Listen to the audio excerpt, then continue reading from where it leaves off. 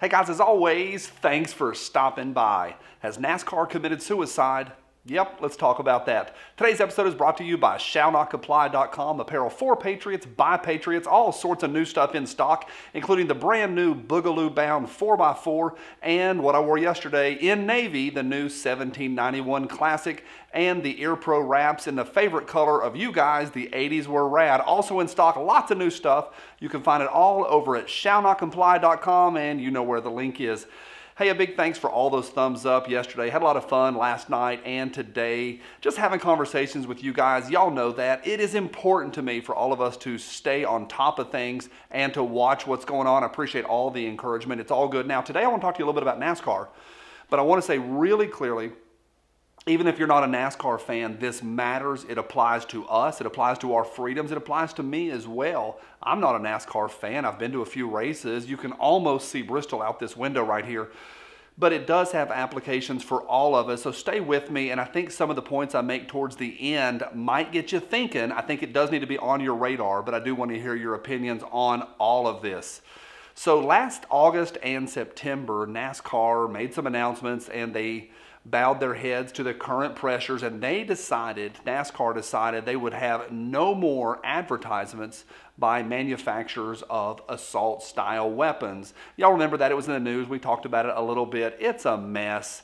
And then just over the last week, NASCAR has now said they will have no Confederate flags at their events. And I'm not talking about like official stuff. They're not selling the merchandise or on the official cars or anywhere on the tracks. I'm talking about fans fans can no longer wear their Dukes of Hazzard t-shirts to the stadiums or to the racetracks. And so now all Confederate flags, the piece of fabric, it is colors on a piece of fabric, are now banned from NASCAR events. Drama Llama, go! Y'all gonna make me lose my mind. Up in here, up in here. All right, so Confederate flags are now gone from all NASCAR events. It's a mess. People have opinions on it. I have opinions on it as well. Like it's a mixed bag. Like I was in Atlanta over the weekend and I drove by a BLM. People are out protesting peacefully, and I'm, I'm fine with that. First Amendment, the right to peacefully assemble, that's fine. And there was one dude beside them holding a Confederate flag, and he did not look to be the smartest bulb in the drawer, but he's out there with those guys, whatever. I mentioned Dukes of Hazzard a few minutes ago. And I follow John Schneider's, I'm, i follow his YouTube channel, and he has a really, really nice generally. I know that people have different thoughts, and it is a mess. However, will those people ever be satisfied? Well, no, of course not. Just this week, NBC New York is going after NASCAR even further. Their words were even after NASCAR has pulled all Confederate flags from their events, both individuals as well as corporate sponsorship, that NASCAR is still, quote, linked to a company that is profiting from Confederate flag sales. They're never going to be satisfied. Now, who's that company that is linked to Confederate flag sales? Well, it's gunbroker.com. It's just like eBay.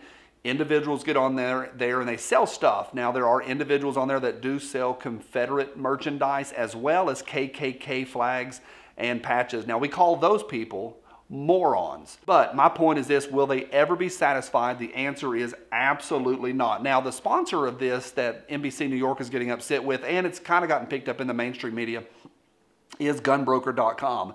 Now, gunbroker.com is sponsoring the number one, the number 51 car in the NASCAR I Series. I've never even heard of NASCAR I Series. Looked it up today. It's digital. It's like a video game. It's like fantasy digital racing it's not real. It's all in the computer. It's not real, but they are sponsoring a car and getting their logo onto people's screens. It is such a low level part of the NASCAR universe that they have typos on their main website. They have such a low budget, they don't even have, have people that are copy uh, proofing that stuff. So there's typos in there. It's a bunch of nonsense. Now, in the real world, Gunbroker.com is also sponsoring the number 51 car in the real world for the upcoming Brick Brickyard.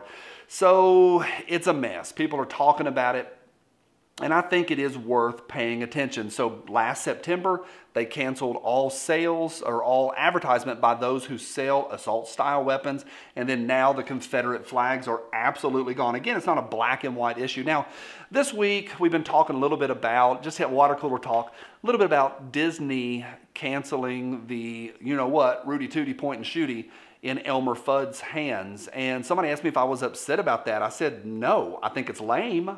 Be very, very quiet.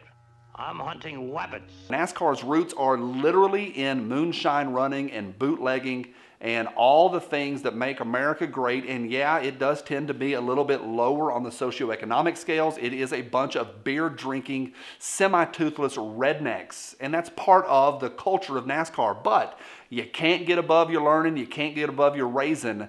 And I think NASCAR, and you've heard it here, I think they have committed suicide. Not over the Confederate flag. It's not, oh, Johnny's mad about the Confederate flag. My point is they have forgotten their roots.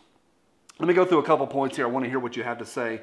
NASCAR, they do have these roots, and I talked to somebody just today, and they said NASCAR's forgotten who they are. It's people eating eating fried chicken off of chicken off of chicken bones down in the chicken bone sections at these racetracks. Now, over the last few years, ESPN is slowly coming in for a landing. Just this week, they, we found out that ESPN has 41 year low ratings going on right now. 41 years. Now, part of that is the, and there's not a lot of sports, but it has turned into, ESPN has turned into 24 hours a day of woke and social, uh, social justice warriorship.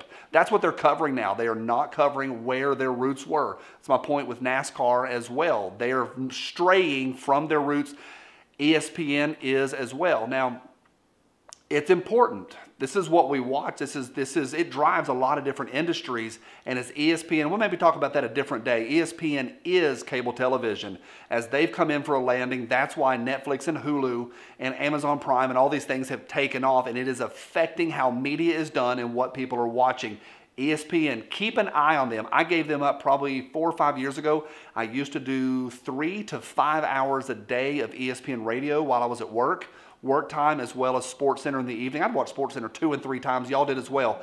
I was done during Deflategate, during the Brett Favre situation, and a couple other things. They lost me. I have not turned them on in years, but I'm watching all of that.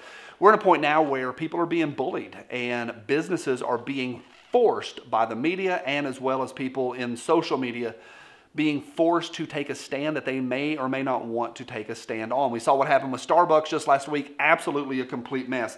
But we have this whole idea of cancel culture, and I think businesses are afraid of being canceled. It affects us here in the freedom universe as well. Now, we have what's coming up here at Bristol, the night race. It's a big deal. It's usually in, in August. It's going to be in September this year. It's called the Bass Pro Shops Night Race and it's sponsored by Bass Pro Shops and the NRA. This is interesting. Where's the NRA going to be in all of this?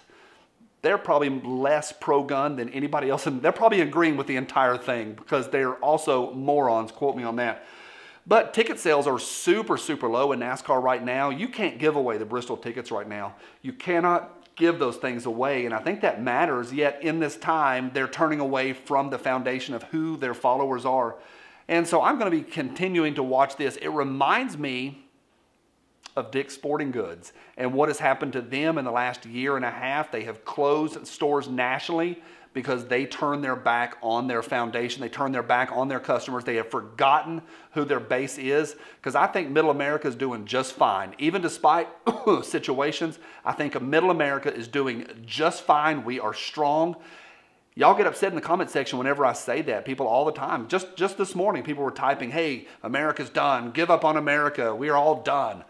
Well, I disagree with that. I think the Republic is strong, and I think Middle America is strong, and I think we need to watch this just because you see it on TV, just because you see people with microphones and the, the cameras, and they have the mainstream media in their back pocket, doesn't mean that's what the average person believes. I think for every person that's throwing rocks in the street, there's 10,000 of us that still believe in what we were founded on. That's what I think. What do you think? Leave me a comment down below. They're chipping away at our freedoms, but we're still here to protect ourselves. This is all I got once again today. Type away on that one. Y'all been upset about this situation right here.